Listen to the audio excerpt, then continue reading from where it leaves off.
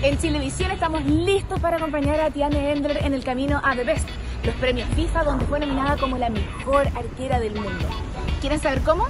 Mis compañeros son perfectos para contestar esta pregunta, miren. La Tiane desde chica se interesó en el deporte, practicó tenis, natación, hockey y bueno, menos mal se decidió por el fútbol. Muy pocos saben que empezó siendo delantera de la sub-17 de Chile, pero por sus condiciones físicas y su talento terminó en el arco de la selección. Se destacó como la mejor en su posición en el fútbol chileno y hoy brilla en el extranjero. Debutó en Unión La Calera. Se desarrolló en Everton de Viña del Mar. Y se consagró en Colo Colo.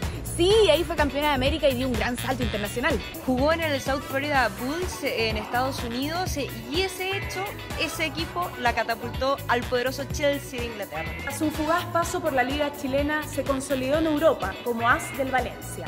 ¡Título de sobra! Ganó una Copa Chile y además lideró a su equipo para ganar cuatro campeonatos nacionales. Campeona de la Copa Libertadores el año 2012. Además, el 2018 fue campeona de la Copa de Francia con el Paris Saint-Germain femenino.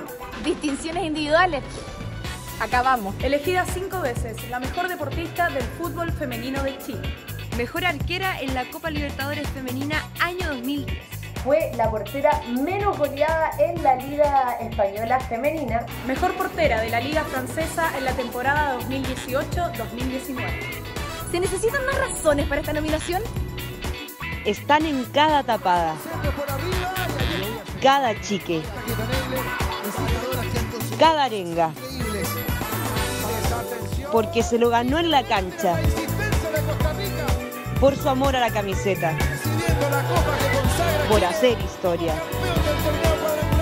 Estamos felices de poder acompañar a Tiana en esta premiación de PES de la FIFA. Sigue nuestra cobertura especial desde Milán a través de las redes sociales de Chilevisión.